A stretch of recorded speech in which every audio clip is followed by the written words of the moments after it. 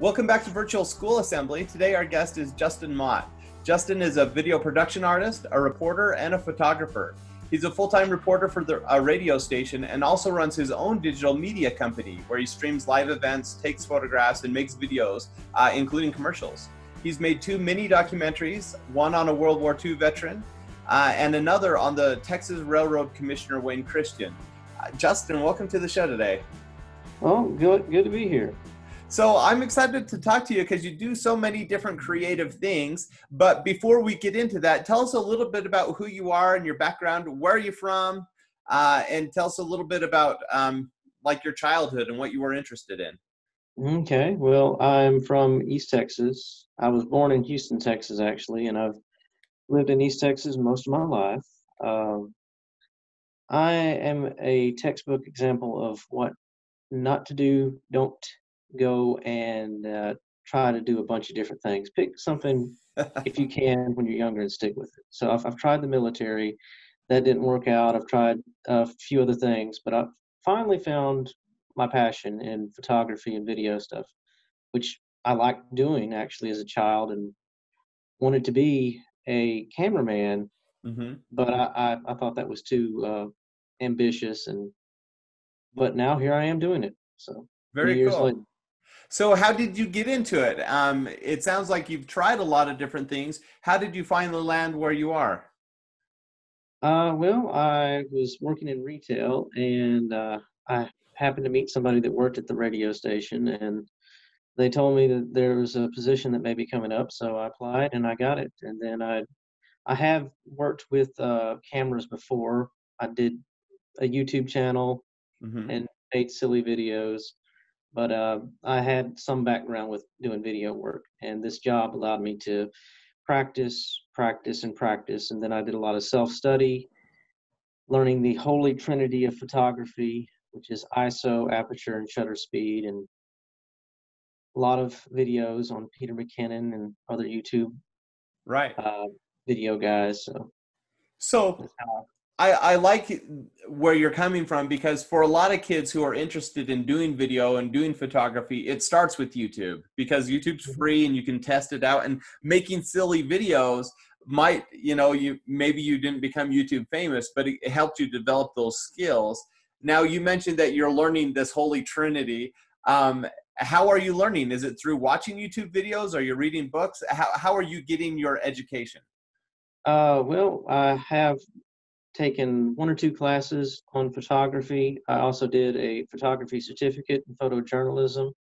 I'm working on my bachelor's in journalism right now. Cool. So there, that was some photo study, but most of it was self study and then just getting out there and doing it, practice. Cool. Uh, so YouTube videos, a little bit of reading, but mostly YouTube videos and practice. Yeah. And that's a good lesson for you kids watching this. If you want to develop a new skill, it, it's learning about it and it might be taking a class but more likely you're going to do the self study and then just go do it. Go practice and and make a few mistakes. So that's uh, a really good um, suggestion there justin. Now you you run a, this digital media company as a side gig uh, in addition to to what you do there in the radio station. Tell us a little bit about how that started and what you're doing on the side. Well uh, I've spent a lot of money on photo equipment. It's not cheap if you want to get into it. Uh, right. Buy used if you can. Make sure that it's it's good quality. But uh, there's several different websites out there that sell used gear. Mm-hmm. But do your research.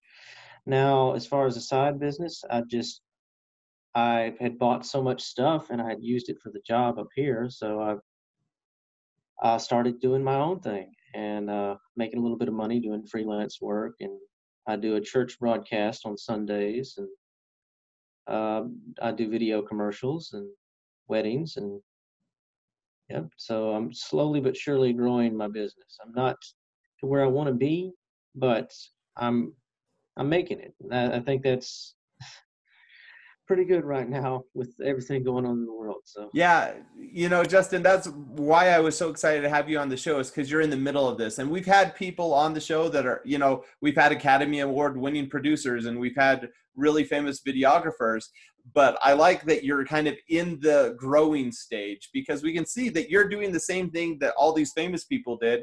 It's get the equipment, start messing around with it, start something on the side, and it grows slowly, right? You're not going to get fully booked overnight, you know, doing weddings all the time or whatever, but it's something that you can grow slowly. Now, if you could go back in time and start over again, what would you have done differently, maybe to speed up the process to get to where you are now? If I would have done, if I could go back in time, I would shake myself and say, try to do something creative.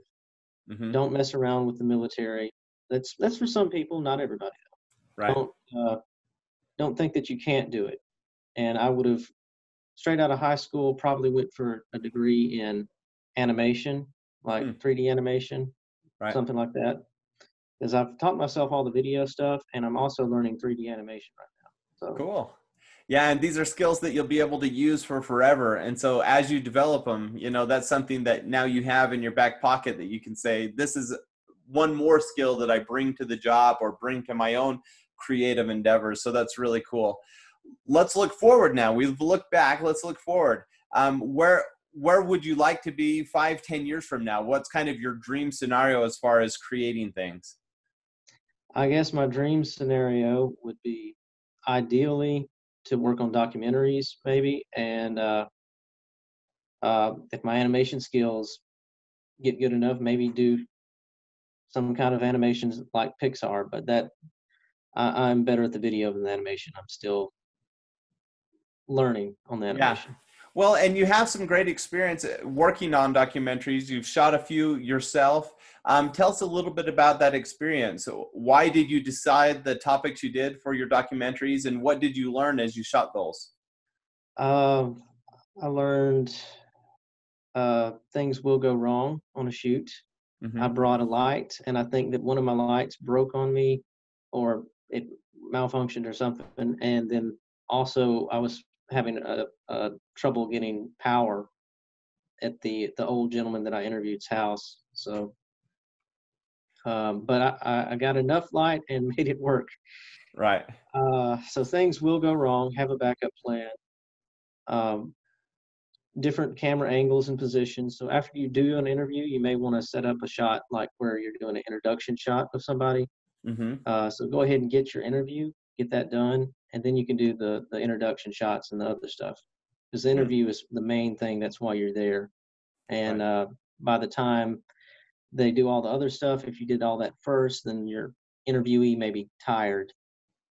Huh. especially if they're an older person so.